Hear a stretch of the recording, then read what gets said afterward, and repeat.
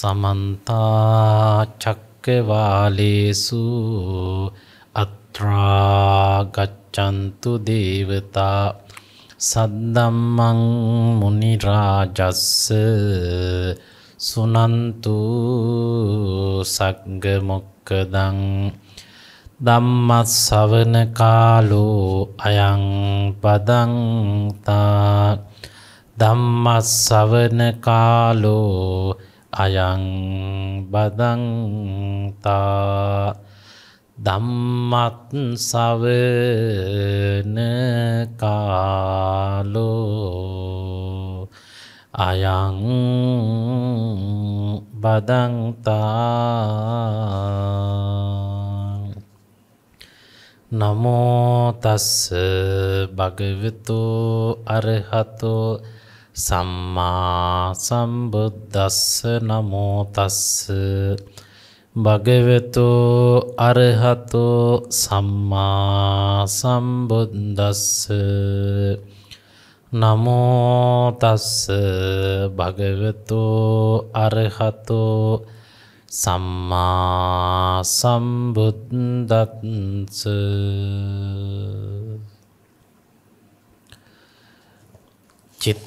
චිත්තේන නීජති ලෝකෝ චිත්තේන පරිකස්සති. චිත්තස්ස ඒක දම්මස්ස සම්බන්ව වසමන්වගූති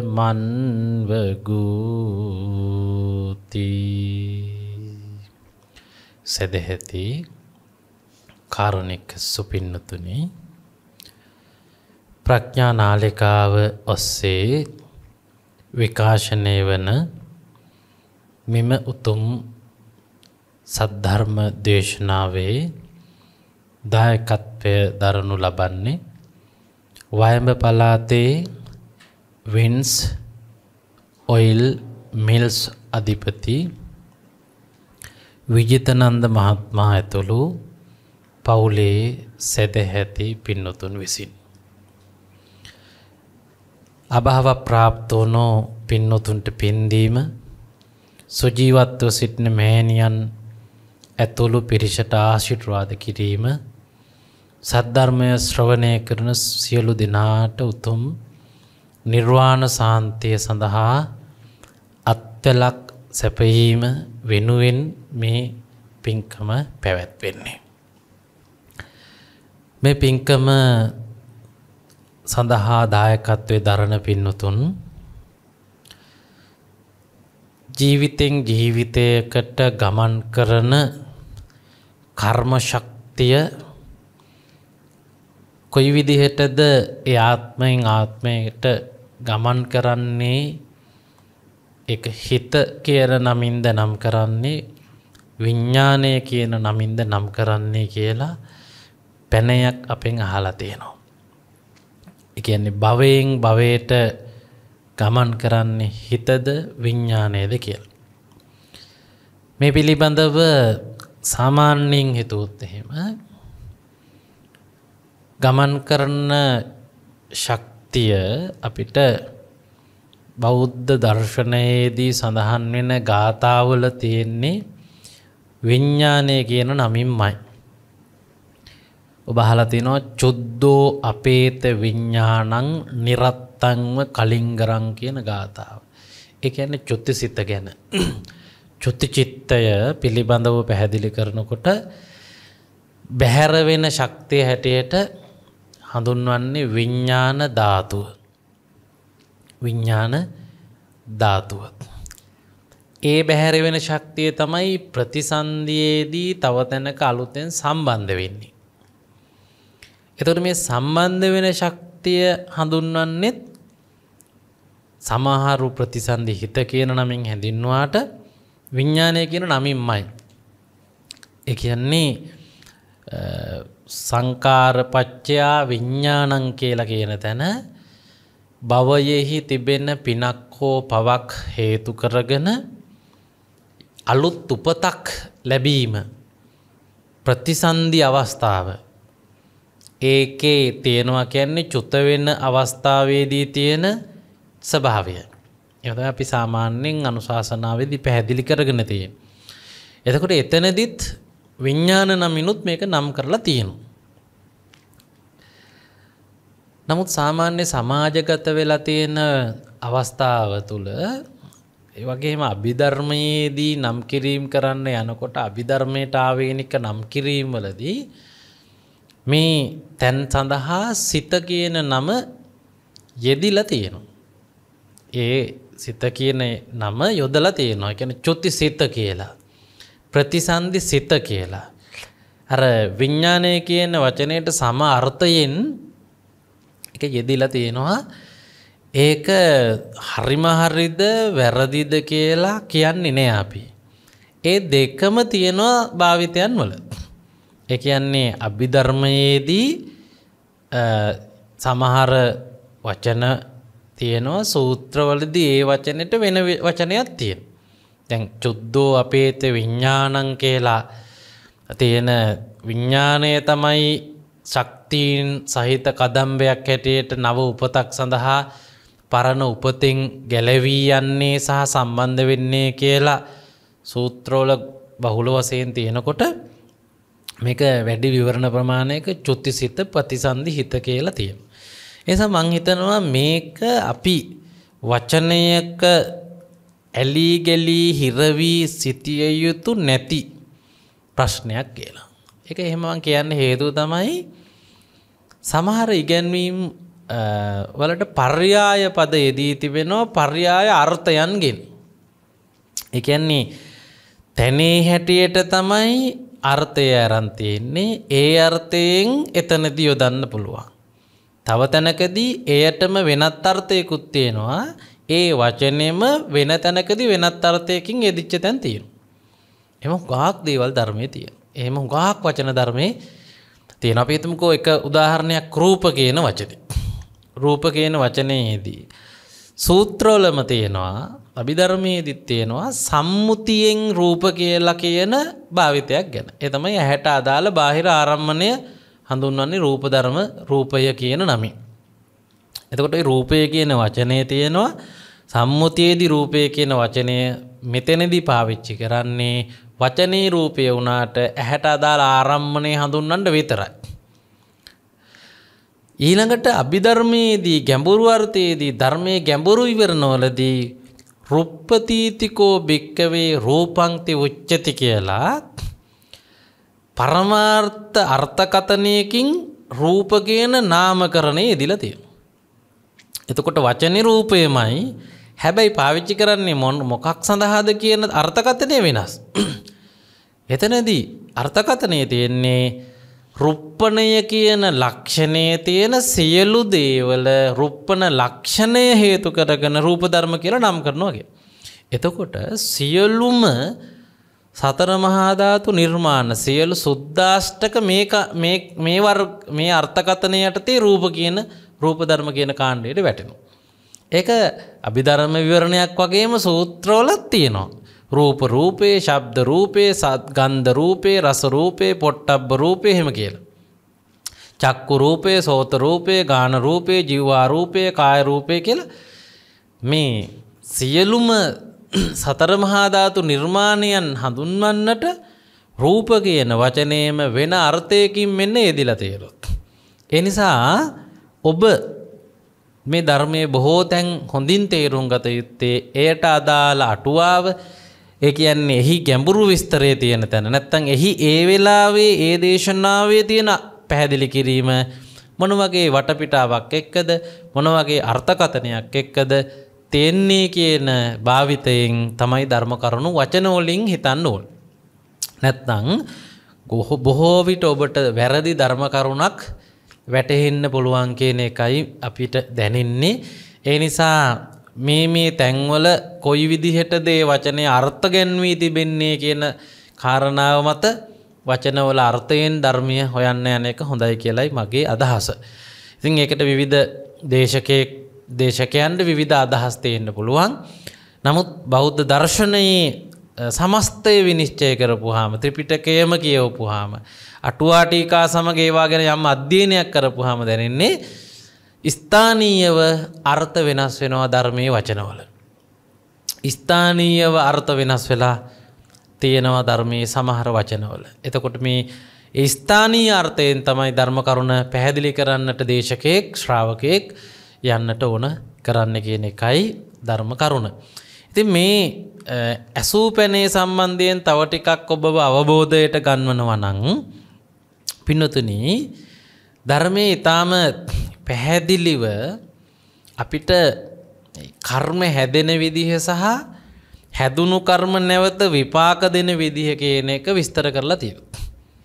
කර්මය හැදෙන විදිහයි හැදෙන කර්ම විපාක බවට යළිත් පත්වෙන විදිහයි. දැන් කම්මා විපාකාවත්තන්ති විපාකා කම්ම සම්භවෝ කියලා ධර්මය පැහැදිලි කිරීමක් තියෙනවා. එතකොට චුතිචිත්තය ගැන පැහැදිලි කරනකොට අපි කර්ම සකස්වීම සිද්ධ වෙන විදිහ ගැන යම් අවබෝධයක ඉන්න ඕන මොකද එහි එක්තරා මග අවස්ථාවක් තමයි චුතිසිතට සම්බන්ධ වෙන්න. චුතිචිත්තයට සම්බන්ධ වෙන්න. ධර්මය පැහැදිලි කරනවා කර්ම සකස් වෙන විස්තරය තියෙන මදුපින්ඩික සූත්‍රානුගත ඒ වගේම චිත්ත වීතිවල අභිධර්මයේදී පැහැදිලි කරන ජවන් සිත් ආදිය පිළිබඳ විස්තර කරන විස්තරයේදී කර්ම සකස් වෙන්නේ විපාක වලින් කියන එක. කර්ම සකස් වෙන්නේ ඇත්තටම පින්නතුනි විපාක වලින්.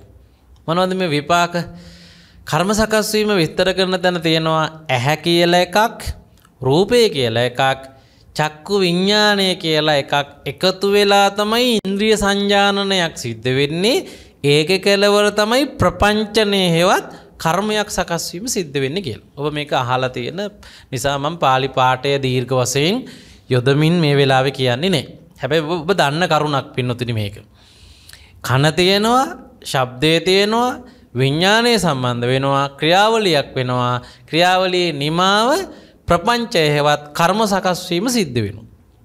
ඇදට මෙන්න මේ කර්ම සකස්වීම සිද්ධ වෙන්න කර්ම සකස්වීම සිද්ධ වෙන අමුද්‍රව්‍ය තුන තියෙන්නේ. තුනම කැඹුරු පැහැදිලි කිරීම්වලද ඉතාම පැහැදිලිව පේනවා විපාක හිමිකම් තුනක් කියලත්. විපාක හිමිකම් තුනක් කියල. ඇස විපාකයක් ඔබ කරන ලද පෙර කර්මවලට ඔබට ලැබුණු. ඒ කර්මශක්තිය නැමති ආකෘතියේ හිමිකමක් හැදිල තියෙන්නේ සතර මහාධාතුන්ගෙන් වූවාට මේ සතර මහාධාතුන්ගෙන් පිරී සකස් වී තිබෙන්නේ කර්මශක්තියට අනුරූප යම් රූප කලාපයක්. ඒක අපිට පේනවා අර නාමරූපපච්චයා සලායතනං කියන ධර්ම කරුණෙතුත් නැත්තං පටිච්ච සමුප්පාද විවරණ පැහැදිලි කිරීමෙනු. ඊළඟට උපත සිදුවෙන්නේ කර්මයෙන් කියලා කම්ම යෝනි කියල බෞද්ධ දර්ශනය පැහැදිලි කිරීම තියෙනවා. එතර උපත හැදෙන්නේ එහෙනම් ප්‍රතිසන්දි සිත උදව් කරගන සකස් වෙන්න විපාකයක් හැටියට කියලා අපි කල්පනා කරලා බැලුවොත් එහෙම උපත විස්තර කරනවා ආයතනම් පටිලාබෝ කියන නමිනුත්. කන්දානම් පාතු බව ආයතනානම් පටිලාබෝ අයං උච්චති ජාති කියලා. එහෙම බලනකොට ඇහැත් කනත් නාසයත් දිවත් සිරුරත් මනසත් කියන ඉන්ද්‍රියන් හයම පින්නතුනී ඔබගේ පූර්වගත කර්මවල විපාකයක් හැටියට හම්වෙන රූප කලාපෝලිං සකස් වෙන නිර්මාණයක්. ඒ ප්‍රසාද රූප හය කර්ම විපාකයක් එතකොට. ඉළඟට මේ විපාකයට සම්බන්ධ වෙන ආරම්මණය තියෙන් මේ ආරම්මණයත් විපාකයක්. මේ ආරම්මණයත් දැනට මේ මොහොතට හිමිය එක තමයි ඔය හම්බෙන්නේ. දැ නිකන් සරවලව හිතුවොත් මිනිහෙකුට හම්බෙන්න දුක සැප වෙනස් වෙන්නේ අරමුණුවලින්නේ. ආයතන හයේම අරමුණු ඇදගැනීමේ ශක්තිය තියෙනවා මට සතුට හිතෙන්න ඕන අරමුණු හම්බෙනවා ඔබට දුක හිතෙන්න ඕන අරමුණු හම්බෙනවා. එතකොට සතුටු හිතෙන්න ඕන හෝ දුක හිතෙන්න ඕන ස්වභාවය වෙලා තියෙන්නේ අරමුණුවල විවිධත්වේ. අරමුණුවල තියෙන හිමිකම්වල තමයි එතකොට විපාක කර්ම තියෙන්නේ. විපාකය තියෙන. ඊළඟට හැම පැහැදිලි පෘෂ්ඨයක් සහ ඒ මත වටෙන ආරම්මණයක් තියෙන තැනකම විඤ්ඥානයක් පහළ වෙන්නේ න. එකයන් අපිතුම කන්නාඩිගත් තියෙනවා රූප වැටෙනවා එතනත් විඤ්ඥානයක් හටගෙන කර්ම හැදෙන්නේ නෑ කර්ම හැදෙන්ඩ ධාතුමය විඤ්ඥානය සක්‍රීය මොහොතකට පැමිණෙන්න්න ඕන්. ඔය ධාතුමය විඤ්ඥානය අපි ධර්මති භවාංග චිත්තය කියලවාගේ නම්මොලින් හඳුන්න කොටස සක්‍රීය තත්ත්වයට පත්වමින් තමයි විපාක විඤ්ඥානයක් ඇහැතුළ ඒ විපාක ආරම්මණය බුක්තිවිඳින්ට පහළවෙන්. එතකොට ඒහින්ද අභිධර්මයේදීත් පැහැදිලි කරනවා විපාක කාණ්ඩේ තමයි තියෙන්නේ චක්කු සෝත ගාන ජිව්හා කාය විඤ්ඥානයන් ටික. විපාක කාණ්ඩේ. එතකොට මේ ආයතන පහේ ආයතන වල මේක පහළ වෙනවා ඊළඟට ඔන්න ඔය ක්‍රියාවලිය ඔය විපාක ටික එකතු වෙලා නව කර්මයක් බවට පත්වෙනවා මෙහි තිබෙන චෛතසිකයන්හි ක්‍රියාකාරිත්තය මත. පටිච්ච සමුපාදයත් මදුපින්ඩික සූත්‍රයත් පින්නතුනි මේ පිළිබඳ දීර්ඝ විස්තරයක් පැහැදිලි කරු. කොහොමද වෙන්නේ. ඇහැයි රූපයයි විඤ්ඥානය කියලා හඳුන්වන මේ ක්‍රියාකාරීත්වයයි සම්බන්ධ වනාම. ක්‍රියාකාරිත්වය සම්බන්ධ උනහම ඇරි අන්නේ සම්බන්ධ වෙන්න විඤ්ඥානයේ චෛතසික පනස් දෙකකුත් සහිත උපදින්. චෛතසික සහ මේ හිත උපදීමත් එක්ක එහි තිබෙන චෛතසික යම් යම් කෘත්තියන් කරනවා මේ අරමුණ වඩාත් විදිමත්ව හඳුනා ගැනීම සඳහා. අභිධර්මයේ වගේම චිත් අභිධර්මය චිත්තවීතීති වගේම මදුපින්නක සූත්‍රයේදී සරලවත් මේ කාරණාව පැහැදිලි කරන්න මෙහෙමයි. කොමද තින්නං සංගති පස්සෝත්. ඇහැත් රූපයත් විඤ්ඥාන ධාතුවත් එකතු වෙලා පස්ස කියන චෛතසිකයට කාර්යන් පැවරෙනවා.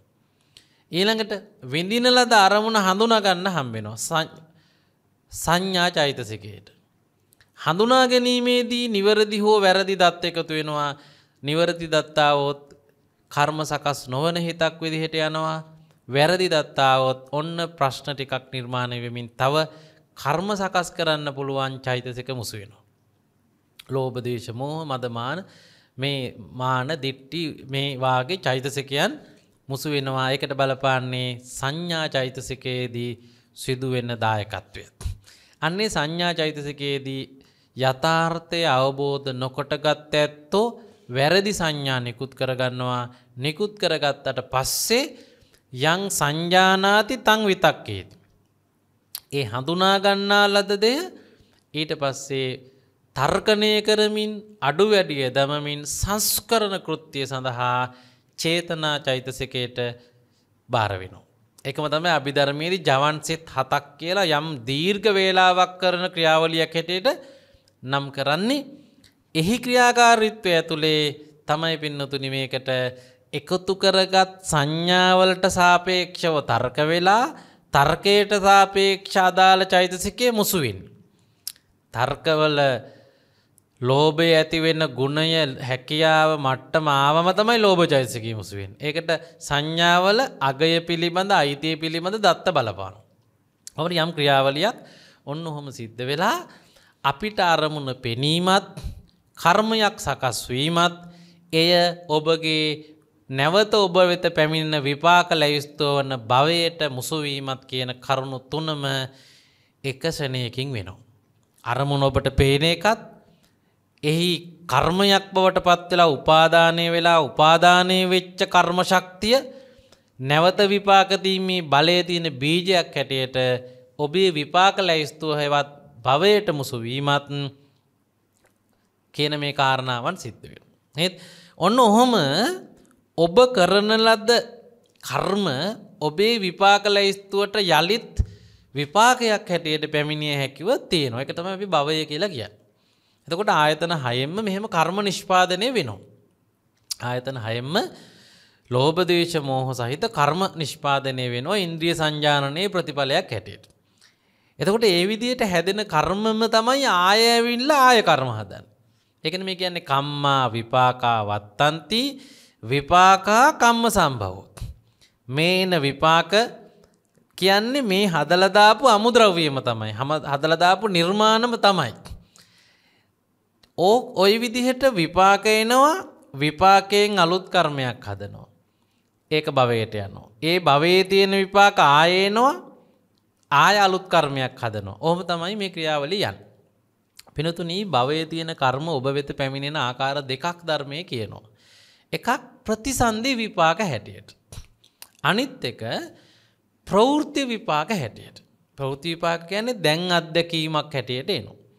මේ දැන් අත්දැකීමක් හැටියට එන්න නම් සම්පූර්ණ චිත්ත වීතියක ක්‍රියාවලිය යන්න ඕනේ කියන්නේ පූර්ණ ප්‍රපංචයක් සකස් වෙන තුරු කර්ම ශක්තිය යන්න පුළුවන් චෛතසික ප්‍රමාණයක් චිත්තක්ෂණ ප්‍රමාණයක ආයුෂයක් තියෙන්න ඕන මේ විපාක අවස්ථාවලට. ඒ කියන්නේ රූපයට හෝ ඇහැට හෝ විඥාණයට. මෙන්න මේවා යම් දවසක ඒ નિયમિત ආයුෂක්තිය නැති අඩු වෙලාවක් පිහිටනවා. ඒ තමයි ඔබේ මරණය වෙන වෙලාව. චිත්තක්ෂණ 17ක කාලයක් යම් කර්මයක් ඉන්ද්‍රිය සංජානනය වීමක් සිද්ධ වෙන්න ගත වෙන බවනේ අභිධර්මයේ කියන්නේ. ඒ පූර්ණ කාලයේ නැති යම් අවස්ථාවක ඔබ වෙත පැමිණෙන විපාකයකින් අලුතෙන් දැන් කර්මයක් සකස් වෙන්න පෙර සියල්ල නිමා වෙලා විඤ්ඥාන ධාතුවට මෙයින් බැහැර වෙන්න වෙන වෙලාවක් එනවා. ඒ කියන්නේ දැන් මෙතෙක්කල් සාමාන්‍යයෙන් වෙන එකම වෙන්න යන්නේ මේ. කොහොමද විපාකයක් එනවා කර්මයක් හදනවා. විපාකයක් එනවා කර්මයක් හදනවා. හරි? එතකොට කම්ම නිමිත්ත ගති නිමිත්ත ආදී කියන්නේ මේ විපාකයට තමයි. ඒකෙන් අලුත් කර්මයක් හදනවා. ඔන්නෝම විපාකයක් එනවා කර්මයක් හදනවා විපාකයක් එනවා කර්මයක් හදනවා වෙමින් තියෙන ඔබේ සාමාන්‍ය පැවැත්මේ විපාකයක් ඇවිල්ලා කර්මයක් හදන්න බැරි වෙන චුත වෙන වෙලාවේදී මේ කර්ම නිමිත්ත අරගෙන චුත වෙනවා. ඒ කම්ම නිමිත්ත අරගෙන චුත වෙනවා සම්පූර්ණ නව කර්මයක් සකස් වීමක් වෙන්නේ නැතුව. ඔන්න ඕකට තමයි අපි කියන්නේ ප්‍රතිසන්දි විපාකය. චුති චිත්තය කියලා. එතකොට මෙන්න මේ අවස්ථාවේ ඔය පැමිණෙන යනයකට ඇතැම් වෙලාවට විඤ්ඥානය කියලත් කියනවා ඇතැම් වෙලාවට චිත්තය කියලත් කියනු. කොහොම හෝ යමක් යනවා. ඒ යන එකේ කර්ම ශක්ති අන්තර්ගත වෙලා තියෙනවා. ධාතුමේ බලයක් තියෙනවා. ධාතුමේ බලයක් තියෙනවා ඒක පැලවුනහම නැවත ශක්තිමත් වෙනවාගේ එකක් තමයි වෙන්න එක බීජමේ බලයක් තමයි මේ යන චිත්තේදී. යන ධාතුවේ විඤ්ඥානය තියෙන්නේ කොමාරි අන්නේ යන ශක්තිය පිනොතුනි නව උපතක් ලබාදීමට නව සිරුරක් ලබාදීමට නව ක්‍රියාවලයක් ඇරවීමට යරිත් හේතු වෙන ශක්තිීන් සියල්ල අන්තර්ගත එකන්න ඔබේ භවයේ තියෙන සංකාරයන් සියල්ල අන්තර්ගත ශක්තියක් විදිහට තමයි යන බව අපිට පැහැදිලිවෙන්. මේ සඳහා මීට වඩා ගැඹුරු මීට වඩා විස්තරාත්මක මීට වඩා වෙනස් විදිහේ මත තේරවාදය ඇතුළෙත් තියෙන්න්න පුළුවන් මහායානය ඇතුළෙත් තියෙන්න්න පුළුවන් ඔය දෙකම භාවිතා වෙන ලංකාවාගේ බෞද්ධ රාජ්‍යක බෞද්ධ සමාජය ඇතුළි තියෙන්න්න පුළුව. ගද මේකට මේ සිදුවීම ගැන මේ ක්‍රියාවලිය ගැන තියෙන නම් තියෙන සිදුවීම එක එක පාර්ශව දරන්න එක එක මත. එක එක අදහස් එක එක විදිහටත් විස්තර කරන අභිධර්මයේදී මේ සඳහා යොදන වචන විස්තරය වෙනස්. සූත්‍රපිටකයේදී මේ සඳහා යොදන වචන විස්තරය වෙනස්. දැන් බලන්න සූත්‍රපිටකයේදීමත් තැනින් තැනදී යොදන වචන විස්තරය වෙනස්. පටිච්ච සමුප්පාද විවරණවල මේ විස්තරයම තමයි විස්තර කරන්නේ. කර්ම හැදෙන එකයි විපාක දෙන එකයි. කොහොමද තලායතන පච්චා පස්සෝ පස්ස පච්චා වේදනා වේදනා පච්චා තණ්හා තණ්හා පච්චා උපාදානං කියනකම් තියෙන්නේ විපාක වලින් කර්ම හැදෙන විදිය. සිරුරත් විපාකයක් විඥානයත් විපාකයක් ආරම්මණයත් විපාකයක්. ඔය ටික එකතු වෙලා සලායතන පච්චා පස්සෝ කියන ස්වභාවයේ සිට උපාදානය කියන ස්වභාවය දක්වා අවස්ථා ටික හේතු ටික පින්නතනි නවකර්මය සකස්වීමේ ස්වභාවේ. ඕකේ අවිද්‍යාවේ මිශ්‍රවීම තර්ක විතර්කණය කිරීම ප්‍රපංචනය වීම කියන කොටස් ඔක්කොම තියෙනවා මදුපිණ්ඩික සූත්‍රයේ තියෙනවා. එතකොට පපංච සංඥා සංකහා සමුදාචරන්ති කියලා කිව්ව එක මේ පටිච්ච සමුප්පාදයේ තියෙනවා භවපච්චයා ජාති කියලා. මේ භවයේ තියෙන ඔය හදපු කර්මවලින් නව උප්පත්තීන් සිදු වෙනවා. සසර සැරිසැරීම සිද්ධ වෙනවා. සංචරණයේ හැතිරීම සිද්ධ වෙනවා කිය. එතකොට මේ මේ පැහැදිලි කිරීම එක්තරා විදිහකට පැහැදිලි කිරීමක්. පටිච්ච සමුප්පාදේ ඔන්න භවයේ තියෙන කර්මවලින් ප්‍රතිතන්දි විපාකත් දෙන්න පුළුවන් කියලත් ඉපදිලා නම් ඉන්නේ භවයේ තියෙන කර්මවලින් ප්‍රවෘත්ති විපාක. හේවත් ඒකට තියෙන ප්‍රතිසන්දි බලය නොවන අනිත් විපාකත් හම්බෙන බවත් කියනවා. එතකොට ඒ පටිච්ච සමුප්පාද විවරණය මේ සිදුවීම විස්තර කරපු විදිය. එතකොට පටිච්ච සමුප්පාද විවරණයේ භවපච්චයා ජාති කියන තැන තියෙන්නේ චුති චිත්තයයි ප්‍රතිසන්ධි චිත්තයයි ගැන තමයි. භවපච්චයා ජාති කියන තැන හැබැයි විඤ්ඥානය කියන වචන පාවිච්චි කරලත් නෑ චිත්තය කියන වචනය පාවිච්චි කරලත් නෑ. ඒ දෙකම නැතුව චුතියයි ප්‍රතිසන්ධයයි විස්තර කරපු විවරණ පවා තියෙනවා. විවරණ පවා තියෙන නිසා ධර්මය එක එක කොටසකින් තේරුම් ගන්න යන්න එපා පින්නතුනි. එක විවරණයකින් තේරුම් ගන්න යන්නත් එපා. ධර්මය හදිස්සියෙන් තේරුම් ගන්න නොයා යුතු දෙයක් හැටියට තමයි අපි ධර්මය ගැන පැහැදිලි කරනකොට පින්නතුන්ට දේශනා කරන්නේ. ඒකයි ධර්මය තුළ ඉතාම් පැහැදිලිව කියන්නේ යම් ප්‍රමාණයකට ඔබ මේ ධර්මයේ ප්‍රායෝගික අභ්‍යාසවල ඒ නියලෙන ගමන් ඔබට යම් කරුණක් විස්තර කරල පැහැදිලිව දැනගන්න ඕන්නම් ස්ථානී අර්ථය දැනගන්න අටුවාව කියවන්න වෙන. ස්ථානී අර්ථය දැනගන්න සමහට තව විස්තර හොයාගන්න වෙනු. ඒක හා සම්බන්ධ වෙනත් පැහැදිලි කිරීම. වෙනත් මාත් වෙනත් දේශනා. වෙනත් කෙනෙකුට මේක බුදු හාමුදුරුව දේශනා කරපු විදිහ වගේ දේවලුත් පැහැදිලි කර ගැනීම ඉතාම වටිනෝ. එනිසා මේ සිත වගේ මාත්තුකාවක් ටිකක් සංකීර්ණ විවිධ අයට විවිධ විදිහට තේරිලා තියෙන ඒ තේරිච්ච හැම එකක් ඇතුළෙම සමහර මට්ටමක් හරි සමහර මට්ටමක් වැරදි වෙන සමහර ඉගැන්වීම් වලට අනුව හරිවන සමහර ඉගැන්වීම් වලට අනුව පුංචි වෙනස්කම් විය යුතු බව වගේ දේවල් තියෙන යම් මට්ටමකට පින්නතුනි සංකීර්ණ වෙච්ච ඉගැන්වීමක් මේ තියෙන්නේ. අපි මේක ඇතුළේ ඉතා ගැඹුරු ගුරු ඇසුරක් සහිත අධ්‍යයනයන්ට යාම තමයි පින්නතුන ඉතාම වැදගත් කියලා අපිට පේන්නේ. මොකද සමහර මාතෘකා සමහර ප්‍රශ්නම ඒ විදිහට ප්‍රශ්නය අහන්න ඕනේ නෑ ප්‍රශ්නය සීම ඇතුළිමත් යම් යම් සිද්ධිය අවබෝධ කරගෙන තියෙන විදිිය වැරදිී කියලවාගේ හිතෙන ප්‍රශ්න පොදු බෞද්ධ සමාජ තියෙනු. පොදු බෞද්ධ සමාජී පුද්ගල බද්ධ නැතුව අප හිතුවොත් ඒම විසඳුනු නැති ප්‍රශ්න ගණනාවක් තියෙනවා. ඉතිං එහෙම නිරීක්ෂණය කළහම අපිට දැන් ඔය මනස සිත විඤ්ඥානයවාගේ වචන එකකටම කියනවාද. එම නැත්තං ඒවා එකක් නෙමීද කියලවාගේ අදහස විවිධ අර්ථකතන තියෙන එක. ඇතැම් දේශනාවල තියෙන විදියට බලපුවාම එකටමත් කියල තියෙන වගේ හිතෙනවා. හැබැයි සමහර දේශනාවල බලපුහාම මනස ආයතනයක්. ඊළඟට විඤ්ඥානය අමුද්‍රව්‍යයක් සිත මේ අමුද්‍රව එකතු වෙලා හැදෙන නිෂ්පාදනයක්. එම බලපුහම ඒ තුන එකක් නෙමෙයි වගේත් හිතෙනවා එකක් නෙමෙයි වගේ හිතන එක ඇතුළෙත් නිවැරදිතා තියෙනවා. එකක් වගේ හිතන ප්‍රකාශනත් තියෙනවා. මොකද විඥානය කියලා යොදන්න ඕන තැන්වල සිත කියලා යොදපු තැන් තියෙනවා. සිත කියලා යොදන්න ඕන තැන්වල විඥානය කියලා යෙදිච්ච තැන් තියෙනවා. ඒව පශ්චාත්කාලීනව මොනවා හරි වෙලා රචනා වෙද්දි ගැටලුමත් වෙලා ලියුණාද? නැත්තං සූත්‍ර දේශනාවේ තියෙන කරුණු විස්තර කරන්න යනකොට අපි කියද්දි අපිට වැරදුනාද කියලා පැහැදිලි නෑ.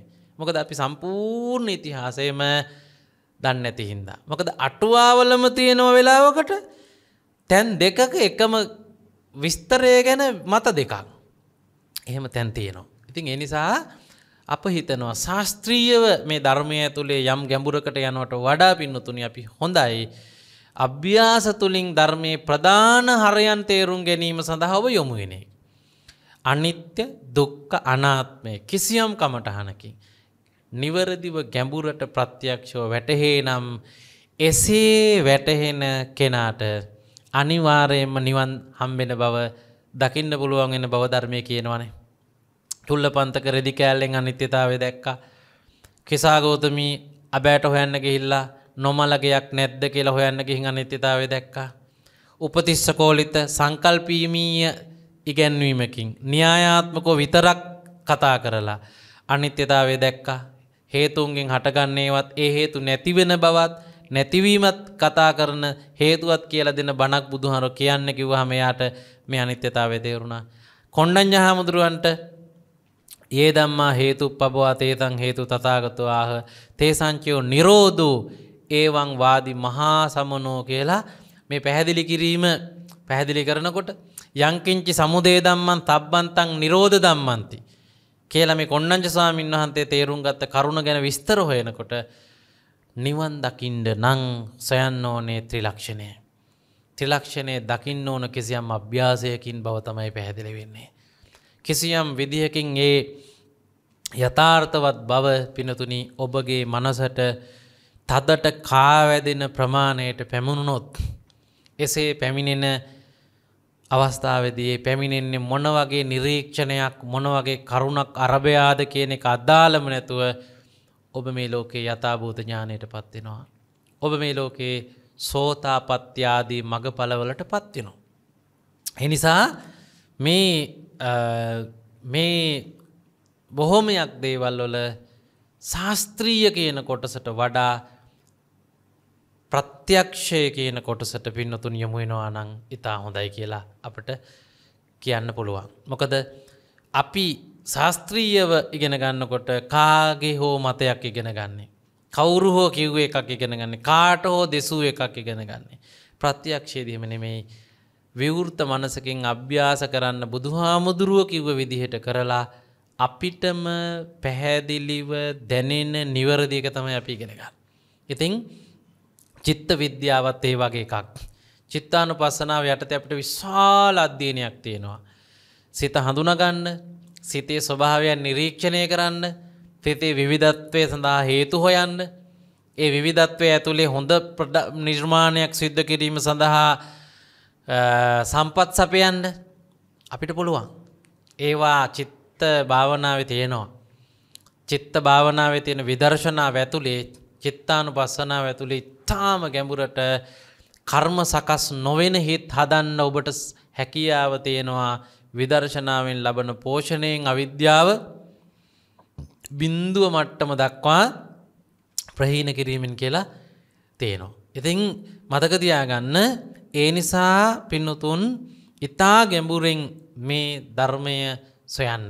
මොකද චිත්තේන නීයති ලෝකෝ චිත්තේන පරිකස්සති චිත්තස්සේක ධම්මස්ස සබ්බන්ව වසමන්නකුති. හිතම තමයි මේ පටලැවිල්ලත් පටලැවිල්ලේ විසඳුමත් කියන දෙකම කරන්න පුළුවන් එක. පටලැවිල්ලත් තියෙන හිතේ විසඳුමත් තියෙන්නේ හිතේ. පටලැවිල්ල තියෙන්නේ වරදවා හඳුනාගත් හිත්වල අවිද්‍යාවෙන් යුක්ත හිත්වල යථාර්ථය තමාගේ සංඥාවලට ප්‍රත්‍යක්ෂයෙන් නොපැමිණුණු හිත්වල ඒවා කර්ම හදනවා. ඒවා යළි යළි යළි කර්ම සකස් කරමින් මේ ගමන යනවා. ඉතින් යම්කිසි විදියකින් ඔබ විදසුන් වඩලා අනිත්‍ය දුක්ඛ අනාත්මේ කායානුපත්තනාවෙන් හරි චිත්තානුපත්තනාවෙන් හරි වේදනානුපත්තනාවෙන් හරි කෙතියම් පරිේචනයකින් හරි ප්‍රත්‍යක්ෂ කරගෙන හිටියොත් අන්න එයාට කර්ම සකස් නොවන ක්‍රියාසිත පහළ වෙන ස්වභාවයට පත් වෙන්න පුළුවන්. ඒ කියන්නේ රහත් උතුමෙක් බවට පත් වෙන්න පුළුවන්. ඉතින් ඒ නිසා පින්වත් ඔබ හැම කෙනෙක්ම ඊ타ම වමනාවෙන් මේ ධර්මය ඇතුලේ මේ ගවේෂණය සිද්ධ කරන්න. සිත පිළිබඳව ඔබට තියෙන ඕනෑම මට්ටමක ඕනෑම විදිහක ප්‍රශ්නයක් සඳහා විසඳුම සතිපට්ඨානය පූර්ණ පාඨමාලාවක් හැටියට අධ්‍යයනය කළොත් ප්‍රායෝගිකව පුහුණුවීම් තුළින් ලැබෙනවයි කියලයි මගේ හැඟීම. ඔබ හිත ගැන තියෙන හඳුනා ගැනීම හිත තේරුම් ගැනීම හිත දකින එක හිතේ ස්වභාවයන් අනුව හිත් වර්ගීකරණය කරන එක හිතේ උපදින ස්ථාන අනුව හිත් තේරුම් ගන්න එක මෙ හුඟක් ඒවා ඔබට ඔබ තුළින් ජයගන්න පුළුවන් දේවල්. ඔබ තුළින් දකින්න පුළුවන් දේවල්. ඉතින් ඒ ඒ කොටස සතිපට්ටාන භාවනාව තියෙනවා. ඊළඟට ඒකේ හිත හිත ගැන සඳහන් කරන කොටසේ මදුපින්නික සූත්‍රය වගේ දේශනාවල අභිධර්මයේදී චිත්ත වීති වගේ පැහැදිලි කිරීම ඇතුළේ කර්මය සකස් වෙන විදිහ පියවරෙන් පියවර චිත්තක්ෂණයෙන් චිත්තක්ෂණයට පැහැදිලි කරලා තියෙනවා බෞද්ධ දර්ශනය. ඒක මහා පුදුම ඉගැන්වීමක්. ඒ ඒ ගැන්නීම හරි රසවත් එකක් ආස හිතෙන එකක් දැනගත්තම සතුටු හිතෙන එකක්. එහින්ද මේ අහපු දේශ මේ ශ්‍රාවකයා කිව්වේ මී පැණි බණක් කිව්ව බුදුහාමුදුරුවෝ කියලා. මදු පිණ්ඩික සූත්‍රය කිව්වේ මී පැණි වගේ රහ බණක් කිව්වා කියලා. හැබැයි ධර්මයේ තියෙන ගැඹුරුම මාර්ථකාව මේ කියලා තියෙනවා. චිත්ත වීතියක ස්වභාවයේ සූත්‍රයක දේශනා කරපු මදුපිණ්ඩික සූත්‍රයේ තියෙන විස්තරය මී පැණි වගේ රසවත් වෙන්න ඒක කොච්චර අපේ ජීවිතවලට වැදගත් ඇද්ද කියලා පිනතුර හිතන්නකෝ නේද?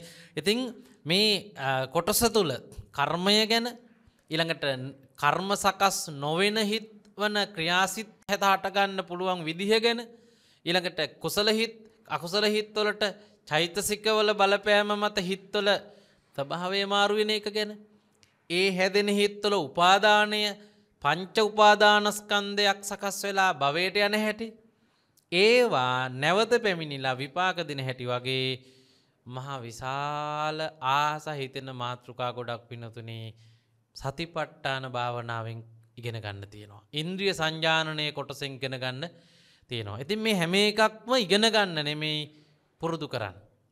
අර දිට්ටේ දිට්ටමත්තං කියලා බුදුහාමුදුරුවෝ පැහැදිලි කරපු ධර්ම කරුණ ඔබ ඔබ තුළින් දැකිය යුතු එකක්. මේ මෙතන පුද්ගලභාවයක් නැතුව කරවන්නෙක් නැතුව ක්‍රියාවක් විතරක් තියෙන මාත්‍රයක් තියෙන්න කියලා. ඕක බණක් මිසක් උපදේශයක් නෙමෙයි. ඒක කරුණු පැහැදිලි කිරීමක් මිසක් උපදේශයක් දීප එකක් නෙමෙයි. ඒවා ධර්මය තුළ ඔබට දකින්නට තිබෙන අධ්‍යයනයන්. හිත ගැන අධ්‍යයනයන් වලදී ඉතාම වැදගත් අධ්‍යයනයන් මේ ආයතන විග්‍රහය ඒක ඇතුළේ අභිධර්ම ඉතාම ගැඹුරට රූප කලාප ගැන නාමධර්ම ගැන මේ නාමරූප දෙක එකතු වෙලා සකස් වෙන පංච උපාදානස්කන්ධ ගැන ඒවා තමයි සංස්කාර හැටියට සංසාර දුක් බීජගත කරගෙන පවතින්නේ කියන එක ගැන වගේ ඉතාම හොඳ ඉතාම තේරුම් ගත යුතු ගැඹුරු මාතෘකා පිනතුනේ මේ චිත්ත විග්‍රහය තුළ ඔබට ඉගෙන ගන්න තියෙනවා. එනිසා සිත ගැන ඉගෙන ගන්න. සිත ගැන හොයන්න හැබැයි නියම නියම පාරගිහිල්ලා. මේක ගැන ධර්මය ඇතුළේ තාම නිවැරදි උපදේශයන් යටතේ හොඳ උපදේශකයෙක් තෝරාගෙන. නිවරදිව මේ පුහුණුවීම් ඔබට දකින්න බලන්න තියෙන ක්‍රම බෞද්ධ දර්ශනය තියෙනවා ඒවත් තුළින් ඔබ මේ අනිත්‍ය දුක් අනාත්ම සහිත චිත්ත ධාරාව චිත්ත ස්වභාවය පිළිබඳව. ඉගෙන ගන්න පින්නතුන යන්න ඒ සඳහා ඕනෑ තරම් මෙය ඉතාම හොඳින් දන්නා ස්වාමීන් වහන්සේලා ලංකාව තුළ ඉන්නවා. සමහර ස්වාමීන් වහන්සේලා මහා වයෝවෘදත් නෑ හැබැයි මේ කාරණා ඉතාම ගැඹුරට තේරුම් ගත්ත හොඳින් මේවා විවරණය කරන ස්වාමීන් වහන්සේලා ඉන්නවා. ඉතින් උන්වහන්සේලා ඔබගේ කල්්‍යාන මිත්‍රයන් වහන්සේලා උන්වහන්සේලා විවිධ මට්ටමේ වැඩමුළු පවත්වනවා. ඒ වැඩමුළුවල ඔබ පිටිං වැඩමුළුව බලන්න එපා. සහභාග වෙලා එක තුළ ජීවත් වෙලා එක ඇතුළේ අභ්‍යාස කරලා ඒ අභ්‍යාස වලින් තේරෙන කොටසට පත්වෙන්න බලන්න මොකද කියන බණට වඩා දැනෙන බණ ගොඩක් වෙනස්. අහන බණට වඩා තේරෙන ධර්මය ඊට වඩා වෙනස්. අපිට අනිත්‍යයි කියන වතාව කතාවක් හැටියට මතක තියාගන්න සහ අහලා තියාගන්න පුළුවන්. හැබැයි ඒක දැනෙනකොට වෙනස්. දැනුනම දැනිච්ච කෙනාගේ හැසිරීමත් වෙනස්, ආකල්පත් වෙනස්, තේරුමත් වෙනස්, ක්ලේශ ධර්මත් වෙනස්. ඉතින් ඒ නිසා මෙහි පින්නතුන්ට අපිට මේ වෙලාවේ සිහිපත් කරන්නට තිබෙන ඊ 타මත්ම ඊ타මත්ම හොඳම අවවාදයේ හැටියට මතක් කරන්න තිබෙන්නේ ධර්මය පුළුවන් තරං අධ්‍යයනයෙන් දැනගන්න කොටස අධ්‍යයනයෙන් දැනගෙන අභ්‍යාසයෙන් දැනගන්න කොටස අධ්‍යයනයෙන් දැනගැනීම නතර කරලා එක අභ්‍යාසයෙන්ම දැනගන්න. මොකද ධර්මය තියෙනවා කොටසක් සුතමේ ඥාන එක එක ඉගෙන ගන්න තමයි තිය. කොටසක් චින්තාමේ ඥාන ඒක තර්ක විතර්ක කරලා තමන් තමන්ගේ පරිකල්පනයන් තමන්ගේ තර්ක විතර්කයන් සාකච්ඡාවන් තනියෙන් කරන්න තමයි තියෙන්නේ. චින්තාමේ ඥානය. හැබැයි දෙකටම වඩා වැදගත් භාවනාමේ ඥානය. භාවනාමේ ඥානය තමයි ඊටාම ස්ථීර වෙන එක. අවිද්‍යාව ප්‍රහීන කරන එක. කර්ම ක්ලේශයන් ක්ලේශ ධර්මයන් නැති කරන සංයෝජන ප්‍රහීන කරන ඥානය එන්නේ භාවනාමේ ඥානයෙන්. ඉතින් ඒ භාවනාමී ඥානය ලබන්න හැම වෙලාවෙම ඔබ ඕන සියලු ධර්මකාරණා සම්බන්ධයෙන් භාවනාමී ඥානයක් තියෙන. අනිත්‍ය දුක් අනාත්මය හෝ වේවා කය ගැන හෝ වේවා හිත ගැන හෝ වේවා මේ චිත්ත ස්වභාවය ගැන හෝ වේවා මේ හැම එකක්ම පිනතුනි පර්යේෂණ සහ නිරීක්ෂණ නිගමන වලින් දැනගන්න පුළුවන්. ඉතින් ඒක තමයි මං හිතන්නේ හුඟක්ම හොඳ වචනයට සාපේක්ෂව ධර්ම කරුණ පැහැදිලි කරගන්නවට වඩා කියන එක අපි මේ වෙලාවේදී පින්නතුන්ට සේපත් කරන්න කැමතියි. ඔබ විසින් ඒ සඳහා උනන්දුව දක්වනවනම්. ඒ සඳහා ත්‍රිපිටකය තුළ කමටහන්ම තියෙන සූත්‍ර ගොඩාක් තියෙනවා. උපදෙස්ම තියෙන සූත්‍ර දේශනා ගොඩාක් තියෙනවා. සබ්බාසෝ සූත්‍රය වගේ සූත්‍ර මදුපින්ඩික සූත්‍රය වගේ සූත්‍ර ඉළඟට සතිපට්ටාන සූත්‍රයේ සහ අටුවාවාගේ විස්තර තියෙන තැන් හොගක් තැන්වල. ඉතාම විදිමත් පැහැදිලි කිරීම් ක්‍රමවත් පැහැදිලි කිරීම්. පියවරින් පියවර පැහැදිලි කිරීම් සහිත ඉගෙන ගැනීම් තේරුම්. ඒවා කිසියම් ගුරුවරයකුගෙන් ඉගෙනගන අභ්‍යාත කරත්.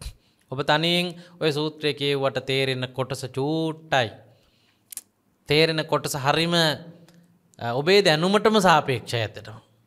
යමක් කියවපුහාම ඒක තියෙන සිංහල වචන දන්නවා වනත් පාලි වචන දන්නවා වනත් ඔබේ දැනුමට සාපේක්ෂය ඔබේ තේරුම් ගැනීම. හැබැයි අභ්‍යාතවලින් තේරෙන්නේ ඇත්ත මේක. ඇත්තම මට්ටම පැහැදිලි කරගන්න අභ්‍යාසවලින් පුළුවන්. එනිසා අපි උත්සාහ කරම පින්නතුනි සිත ගැන ගැඹුරු ඉගෙන ගැනීමක් භාවනාමය පුහුණුවීමක් හැටියට සතිපට්ටානය තුළ සඳහන් වෙන්න චිත්තානු පස්සනා වේදනානු පස්සනා භාවනා තුළින් ඒ ගැඹුරු අධ්‍යයනයන් තුළින් හැදෑරීම සඳහා. මොකද බුදුහාරු ඉතාම පැහැදිලි ඔබට කියනවා අපිට කියනවනේ දෙම එකක්. මොකක්ද බොහෝ කරුණු ඉගෙනගන්නවට වඩා ඉගෙනගන්න චූටි කරුණ ඉතාම හොඳින් ප්‍රත්‍යක්ෂ කර ගැනීම තමයි ධර්මය අවබෝධවීමේ ක්‍රමේ. අපපම් පිචේ තහිතං භාසමානු ටිකක් දැනගෙන ධම්මස්ස හෝති අනු ධම්මචාරි. ඒකට අනුව හැතිරිලා ඒක හොඳින් තේරුම් ගත්ත කෙනෙක් වුණහම එයා ස්භාගවාසාමං්ඥස්ස හෝති. එයා උරුමක්කරුවෙක් වෙනවලු බුදු හාමුදුරුවන්ගේ ඉගැන්වීමේ. උන්වහන්සේ පැහැදිලි කරපු ධර්මකාරණාවන් තේරුණු සාමාජිකයෙක් හැටියට.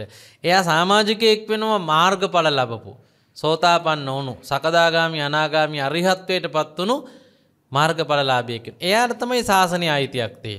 එය තමයි ශාසනයේ සාමාජිකයෙක් වෙන්නේ. මේ මේ මේ ශ්‍රමණයන් වහන්සේලා විතරයි ශාසන සාමාජිකයන් වෙන්. නේ එතකොට එහෙම නොවන මට්ටමේදී. මදක තියාගන්න එහෙම නොවන මට්ටමේදී අපි නිකම්ම ධර්මය ගොඩාක් දැනගත්තට ඒ කර්මය භාවිතා නොකරන එක සංවේදනය කරන්නෙක් විතරක් වෙන්න පුළුවන්.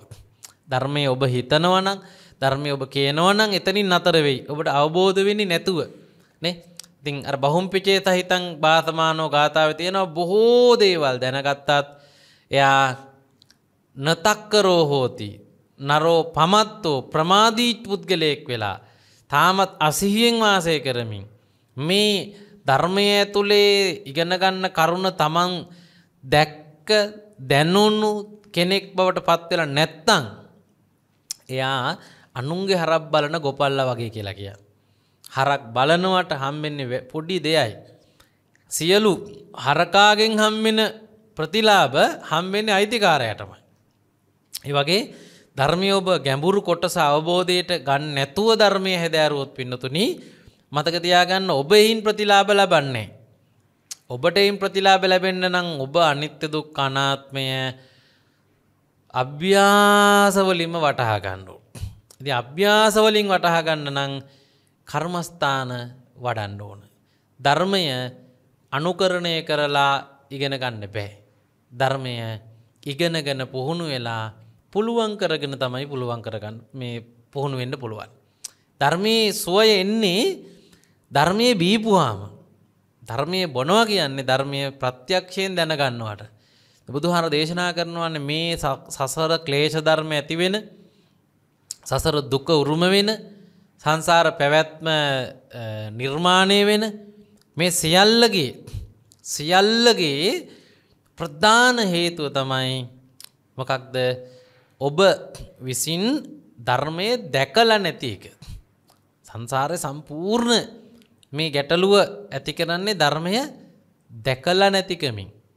ධර්මය දැක්කට පස්සේ එයා සසර මෙ සියල්ල නිමාවට පත් කරන සාමාජිකයෙක් බවට පත්වෙනවා. එනිසා පින්නත් ඔබට අපි මතක් කරනවා මේ ධර්මය සොයන ඔබ හොඳ ශ්‍රද්ධාවන්ත පින්නොතෙක් හැටියට ධර්මය ඇතුළේ ගවේශණයන් සිද්ධ කරන පර්යේෂකයෙක් හැටියට යන ඔබ එහි නිවරදිම මට්ටමට ධර්මයට සමීපවෙන්. ධර්මය කියලා කියන්නේ අසනීප සුවපත් කරන ඔසුවක් වාගේ එකක්. ඒ ඔසුව ගෙනල්ල ළඟතියාගත්තට හරි දෙනකට්ටිය ඇඳුරුවාට හරි ගෙනල්ල ඒ වදිහා බලබල හිටියට හරි ඒ වගේ නම් කිය කිය හිටියට හරි ලෙඩ හොඳ වෙන්නේ නෑනේ ලෙඩ හොඳ වෙන්න නම් මොකක් වෙන්න ඕනෙද ධර්මය භාවිතයට ගන්න ඕන ඖෂධය නම් පානය කරන්න ඕන ඖෂධය පානය කිරීම කියලා ධර්මය කියන්නේ ප්‍රත්‍යක්ෂයෙන් දැන ගැනීමට ඉතින් ඒ නිසා මේ අනුශාසනාව ශ්‍රවණය කරන පින්නොත් ඔබට අපි ආරාධනා කරනවා.